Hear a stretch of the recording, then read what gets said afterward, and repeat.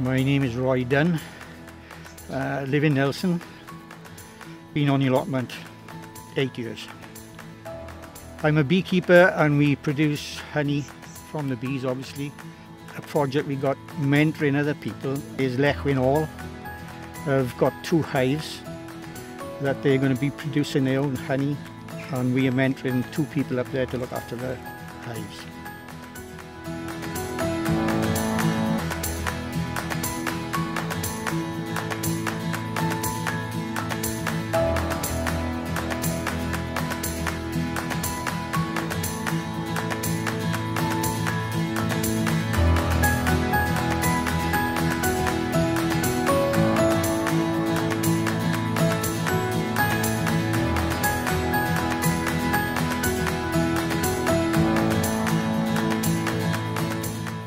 What we take off is the food that they don't really need.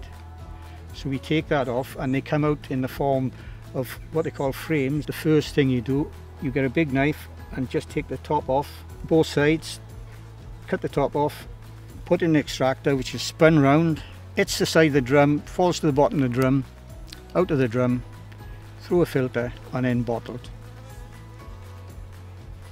Pure honey, no mixing, no adding, pure honey.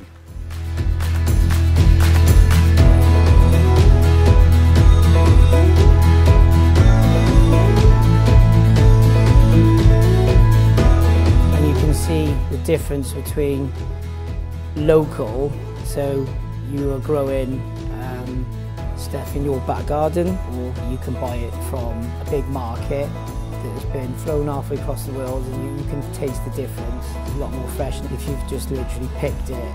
It's in your kitchen. We'll be having a lot more menus, um, dishes that we'll be introducing our, our menu, which I'm really looking forward to. I've got loads of ideas.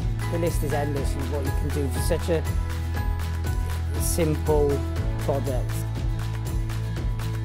Quite simply, we love honey. It's great that we can follow one of our passions whilst doing our bit for the environment. Uh, bees are important to us all and we're happy we can help by working towards making our hotel more sustainable.